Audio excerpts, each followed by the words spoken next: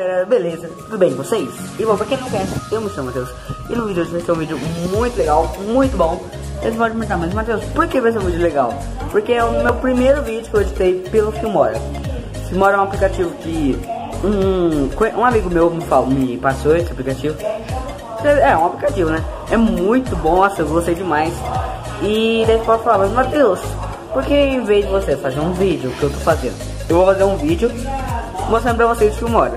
Em vez de eu colocar o Filmora aqui. É, o vídeo editado por aqui. Não sei se vocês entenderam muito bem, mas é mais ou menos assim. É, nem eu entendi, mas tudo bem. Então fica aí com o vídeo editado pelo Filmora.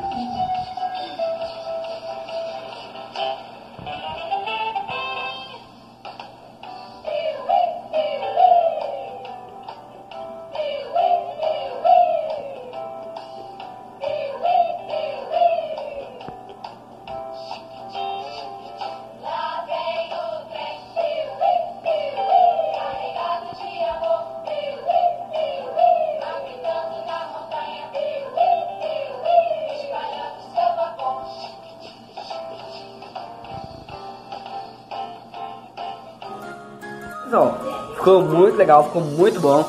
Mas só que não é. Não sei se perceberam, mas foi bem. Foi mais um. Uma foto explicar. Foi um vídeo de foto. É. Eu peguei algumas fotos, como era a primeira vez, era um teste. Então eu coloquei umas fotinhas, depois eu fui. Ah, vou colocar um vídeo pra ver. Eu coloquei esse vídeo, foi aleatório. Tinha aparecido alguns lá, eu. Ah, vou nesse daqui. Tum!